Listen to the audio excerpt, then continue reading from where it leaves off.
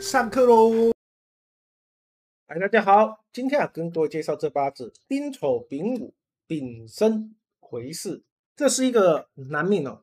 那他来讲呢，呃，他在说呢，呃，他在之前呢，呃，被人家叫到公司里面去哈，那结果呢，到最后被人家 fire 掉哈。那各位，呃。里面呢，哦，有很多哦，他的讲法，但是啊，我一点都不感兴趣啊。那我们来看一下这个八字，它到底是一个什么样的情况，让它呢，哦，被人家 fire 掉？这是在庚子年的一个情况。那它是在庚子年戊子的时候出现了这一种情况。那我们来看一下他的在这一年的一个状况，我们可以知道，他就是一个什么甲去生呢，丙丁火。啊，去克庚金。那各位，天干它是一种破财的象，那地支呢子丑合，然后呢它出现了啊巳申合，所以呢就是午火生辰土。那在这里面我们可以知道啊，他的一个八字里面，他的财运、他的官运没有太大的问题嘛。可是为什么他还是依旧面临到了所谓呢被人家 fire 掉的这一种情况？各位。为什么？其实呢，在这一边呢，就是我们常常讲流年搞的鬼，他走流年走什么运，你就要特别注意。那这时候流年他走的是什么官运？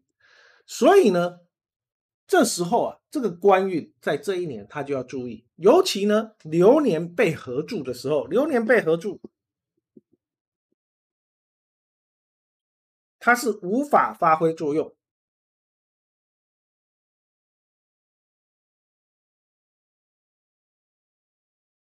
被无法发挥作用的时候，它就等着待宰。所以，其实你的流年被合住的时候，这个运程它是无法动弹的。所以，我们会知道为什么在庚子年的时候，它的这一个官运是很糟糕的。而且，他已经他说了哦，这是在年底那时候，他呢提出来的。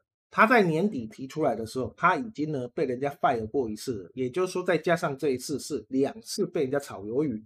所以各位，我们就会知道，当流年我们之前所讲的合克定吉凶的时候，那我们就会知道啊，合克定吉凶，当然子丑合辰戌，那来讲我们就已经知道啊，因为它的丑是直接已经合了，所以呢就比较不会影响。但是呢，这三个很有可能就会是呢，它被败掉的。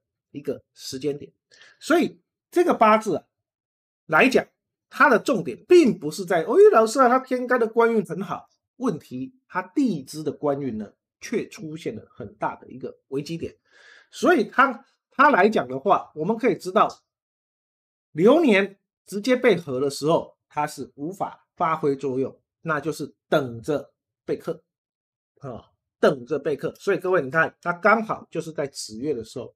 啊，被人家炒鱿鱼，所以各位，我们常常在讲一件事：当你的流年是走什么运的时候，你就要特别注意啊！你不要把它当做用神，你把它当做是一种警告的意味。那你心里有底的时候，那你自然呢就不会呢走到最差的那一步。最害怕的是突然的跟你讲，哎，你被 fire 掉，你什么准备都没有，那这样子是不是？对你呢，就是一种很大的一个伤害啊，所以各位，你把流年当做警告的意味啊，会比较好。当然，它也会让你好，但是呢，它毕竟总是会有受伤的时候。哦，就是我们常常讲的合克定吉凶啊，把流年合克定吉凶，那你就会知道你的流年什么时候会伤啊。那今天就跟各位分享到这边，大家假如喜欢我的影片，欢迎大家按赞、关注、订阅、分享，并开启小铃铛，这样子有最新的影片，你就可以随时接收到通知。大家下一次有缘再见，拜拜。